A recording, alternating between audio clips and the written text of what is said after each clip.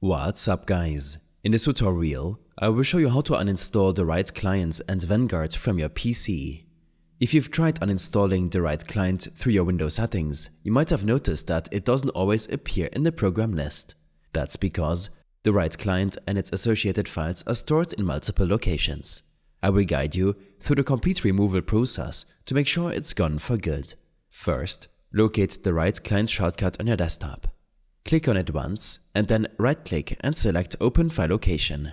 This will take you to the folder where the Riot client is installed. Now look at the navigation bar at the top of the File Explorer window. Click on Riot Games and then go one step back to the main installation directory.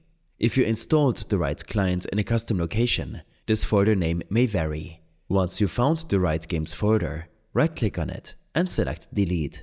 You can also click on the bin icon at the top to remove it.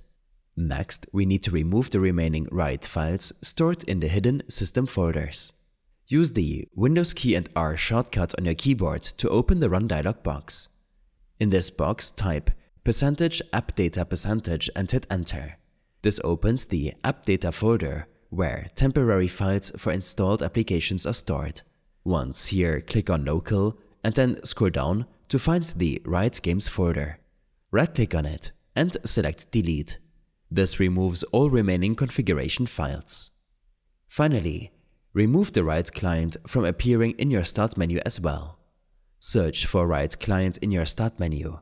Right-click on it and choose Open File Location. You'll be taken to another Riot-related folder inside the program files. Move one step back to the main program files directory Locate the Riot Games folder, right-click on it, and delete it.